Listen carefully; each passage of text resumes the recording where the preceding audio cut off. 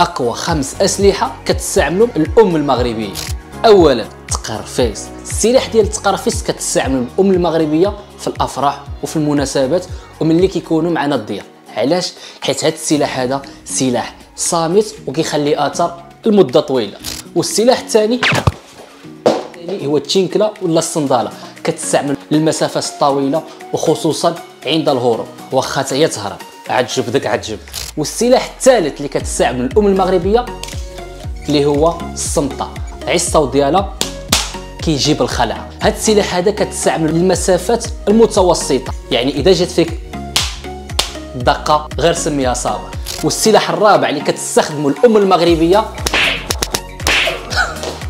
الأم المغربية كتستخدم الطرشة حيت السلاح قريب المدى والسرعة ديالو فحال سرعة الضوء. ولا تقدر يمشي لك بالضوء.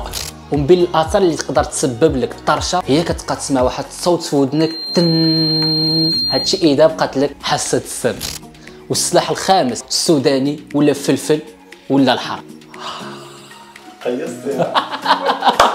أسلحة خاصة بالفم. ولكن واخا هادشي هذا كامل الأم المغربية كتبقى هي الربح وهي رأس المال ضربك وما تخلي اللي يضربك.